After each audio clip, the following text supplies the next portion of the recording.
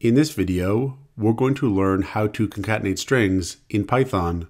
So string concatenation is when we join multiple strings together. So for example, if we had here string 1 is equal to good and string 2 is equal to morning, then if we concatenated these strings, the new string should be good morning, like this. We can concatenate strings in Python by using the plus operator. So for example, if we had here string 1 plus string 2, this is going to concatenate together string 1 and string 2. We could then output the new string that results. So we could have here print new string. We could save the program and try it out. And here we'll get good morning, which is the concatenation of string 1 and string 2. Now we can chain together multiple string concatenation operations. So for example, we could have here plus and then a string with one space character and then plus string two. And this is going to merge all three strings. If we save the program and try it out, now we get a space in between good and morning. We can also append a string onto the end of a string using the plus equals operator. So for example, if we had string 3 is equal to 2u exclamation mark, and then here we had new string plus equals string 3, this is going to append the string to you onto the end of this string here. So if we save the program and try it out, now we get good morning to you. Now we'll get an error if we try to concatenate something like an integer or a floating point number to a string. So for example, if we had something like speed is equal to 20 and units is equal to kilometers per hour, and then we had speed output is equal to speed plus units. We might think that this operation would concatenate speed and units, but if we try to output speed output and we save a program and run it, we actually get an error. We get here type error and it says unsupported operand type for plus, int and string.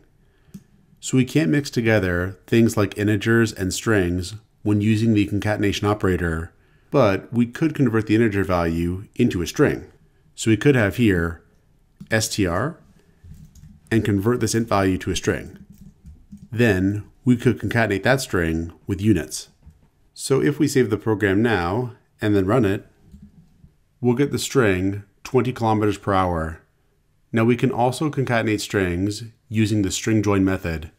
So for example, if we have something like a list of strings, like for example, a list of names, we'll have here name list is equal to and we'll have Camilla and Mary and Sarah in our name list, then we could concatenate these strings with names output is equal to, and we'll have a string with no characters, and then dot join, and we'll pass the join method name list.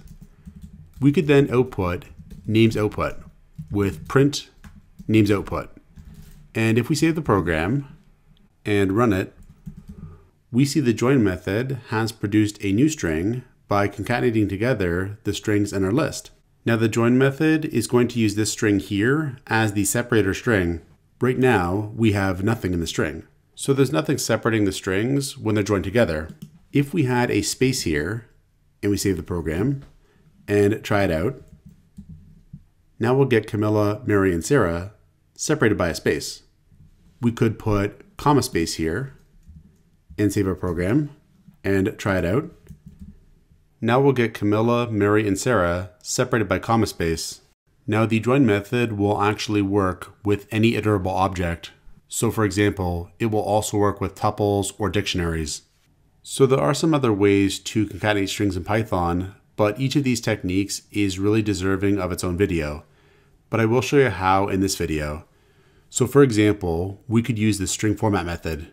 We could have here, let's say S1 is equal to good and S2 is equal to evening.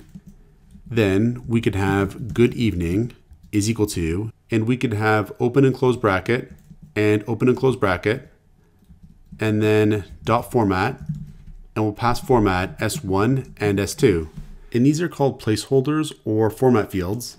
And these arguments are going to take the place of these placeholders in the string that format is going to build. We could then output good evening here. We'll have print good evening. And if we save the program and run it, we'll get here good evening. There's also a string formatting operator that works in a similar way. So we could have here the string with percent %s and percent %s, and then we'll have the string formatting operator percent with S1 and S2. And the idea here is that these are format specifiers. Percent %s is telling the string formatting operator to place a string here and here, and then in the tuple, we provide S1 and S2 to take the place of those format specifiers. And we can see the operator is going to build the new string, good evening, if we save the program and run it. We could also use formatted string literals, or what are called f strings. So here, for example, we could have f, and then inside curly braces, s1 and s2. And if we save the program and run it, we'll again get good evening but I'll have to make separate videos covering each of these techniques in the full detail these topics deserve.